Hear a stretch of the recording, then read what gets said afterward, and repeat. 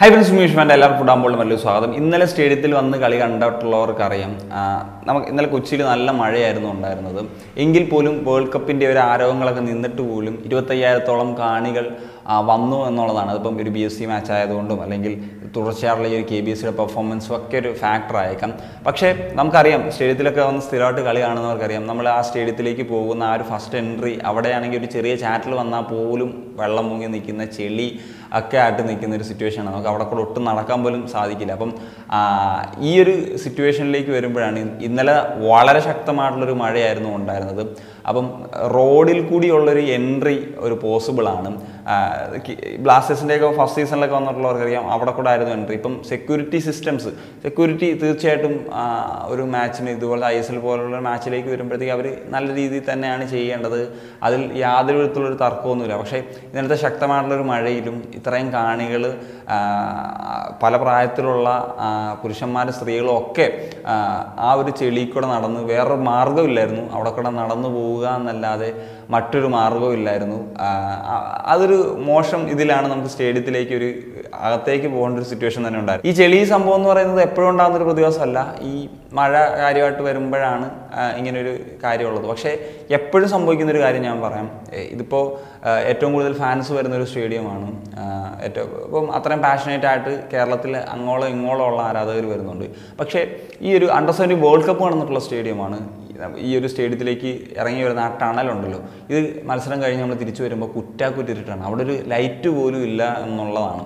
ഇത് എന്താണ് ഇത്? ഇവർ ഈ സെക്യൂരിറ്റീസും കാര്യങ്ങൾക്കൊക്കെ വല ഭയങ്കര റെസ്ട്രിക്ഷൻസ് ആണുള്ളത്. പക്ഷേ കൊടുക്കേണ്ട ബേസിക് നീഡ്സ് ഇല്ല എന്നുള്ളതാണ്. ഒരു ലൈറ്റ് പോലും ഇല്ലാത്തൊരു സിറ്റുവേഷനാണുള്ളത് പിന്നെ ബ്ലാസ്റ്റേഴ്സിന്റെ ഒരു ഡ്രസ്സിങ് റൂമിൽ കാസർഗോഡ് നിന്ന് ട്രാവൽ ചെയ്തു വരുന്ന ആ ഒരു മിനിറ്റ്സ് എഴുതി വെച്ചിട്ടുണ്ട്.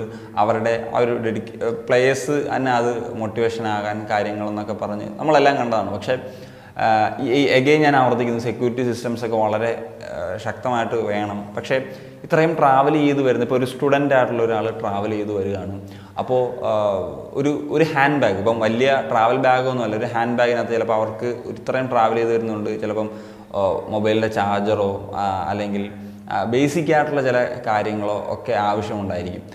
പക്ഷേ ഈ ഒരു ബാഗ് പോയിട്ട് ഇപ്പം ഹെഡ്ഫോണോ ചാർജേഴ്സോ ഇങ്ങനെ കാര്യങ്ങളൊന്നും തന്നെ അകത്ത് കയറ്റത്തില്ല. അപ്പം ഇത്തരം ട്രാവൽ ചെയ്ത് വരുന്നവർ പലപ്പോഴും അവർക്ക് ചിലപ്പോൾ ഇത്രയും ട്രാ- അന്നത്തെ ദിവസം ചിലപ്പം അവർക്ക് റൂമൊന്നും എടുക്കാനായിട്ടുള്ള പൈസയോ കാര്യങ്ങളൊന്നും ഇല്ലായിരിക്കും. അവർ കുറച്ച് പൈസ പ്രത്യേകിച്ച് സ്റ്റുഡൻസ് ആയിട്ടുള്ളവർ എവിടുന്നെങ്കിലുമൊക്കെ സ്വരൂപിച്ചൊക്കെ വെച്ചിട്ടായിരിക്കും അവർ ഇത് ഈ ഒരു പരിപാടിയിലേക്ക് വരുന്നത്. അപ്പം അവർക്ക് ബാഗ് കൊണ്ട് വേറെ റൂം എടുത്തിട്ട് വെക്കാനുള്ള ഇതൊന്നും കാണില്ല. അല്ലെങ്കിൽ ബാഗ് ഇങ്ങനത്തെ വരുന്നവർക്ക് എന്തെങ്കിലും ബാഗോ കാര്യങ്ങളോ ഒക്കെ വെക്കാനുള്ള ഇത് വേണം. ഇതാണെങ്കിൽ ഏതെങ്കിലും പുറത്ത് വെക്കുക അല്ലെങ്കിൽ ഏതെങ്കിലും മരത്തിൽ കെട്ടി തൂക്കുക. മഴയൊക്കെ പെയ്ത് കഴിഞ്ഞാൽ ആ മഴയത്ത് അത് കിടക്കുക എന്നുള്ളതാണ്. പിന്നെ ഞാൻ കണ്ടിട്ടുണ്ട് ചിലവർ ചിലപ്പം ബ്ലാസ്റ്റേഴ്സ് ഫാൻസ് എന്നുള്ള നിലയിൽ ഈ കാറിലൊക്കെ വരുന്ന ആളുകളുടെ ആ കാറിൽ വെക്കുക.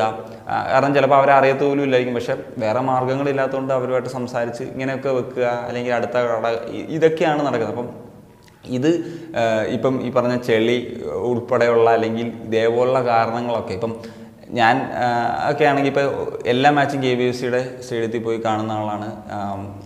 അതിപ്പം എന്ത് പ്രശ്നങ്ങൾ എന്താ ഗുരുതരമല്ലാത്ത പ്രശ്നങ്ങൾ എന്തെങ്കിലും ഉണ്ടെങ്കിൽ എന്താണെങ്കിലും സ്റ്റേഡിയത്തിൽ പോയി കാണും എന്നുള്ളതാണ്.